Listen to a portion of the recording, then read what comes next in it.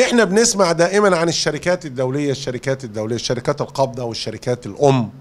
الفرق منهم ببساطة شديده إن الشركة القابضة هي الشركة اللي بتنشأ بغرض الاستثمار في شركه هي شركة بتمتلك فقط محفظة أوراق مالية عندها حصة في الشركة دي وحصة في الشركة دي وحصة في الشركة دي.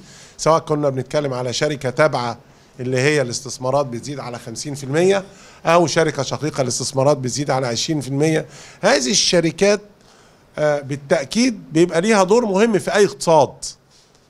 في أي اقتصاد ليها دور مهم استمرار هذه الشركات لأنها آه، كل المزايا اللي هنتحدث عنها مسألة العمالة مسألة آه، الاستثمارات المباشرة إلى آخره.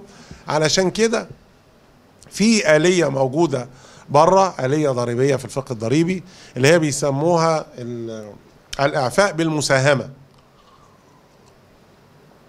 أو ال participation exemption إيه الفكرة ببساطة شديدة؟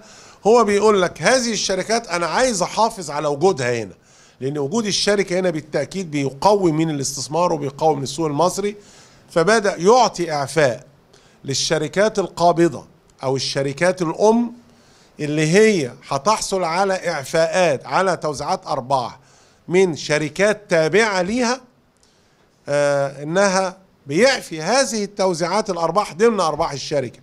ليه طيب؟ هو ليه دائما حتى لما بنيجي نقول 5% الاستثمار طويل الأجل أو هناك معاملة ضريبية للشركات الكبيرة القابضة؟ هل ده مجاملة لأصحاب محاباة لرؤوس أصحاب رؤوس الأموال الكبيرة؟ بالتأكيد لا. أمال القصة إيه؟ قصة يقول لك دائما الشركة القابضة أو الشركة التابعة بتخضع للضريبة أربع مرات. هو المساهم واحد مساهم في الشركة القابضة. طيب بتخضع أربع مرات إزاي؟ الشركة القابضه لو تصورنا إن في شركة تابعة. المفروض إن أرباح الشركة التابعة هتخضع للضريبه أول مرة. تيجي الشركة التابعة توزع أرباح للشركة القابضه هتخضع للضريبه تاني مرة.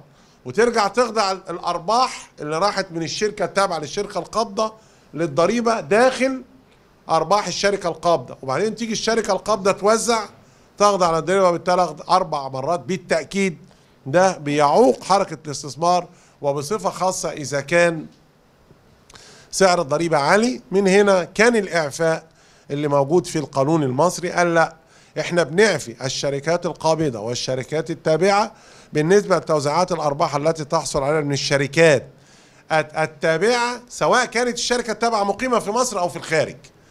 يعني لو الشركة التابعة في مصر ساعة ما هيحصل على هذا التوزيع هيعفي هذا التوزيع. طب لو جاي التوزيع من شركة تابعة في الخارج قال برضه هعفيه. كل ده بيساعد على إن بيخلي آه، مناخ الاستثمار في مصر مناخ جاذب لمثل هذا النوع من الشركات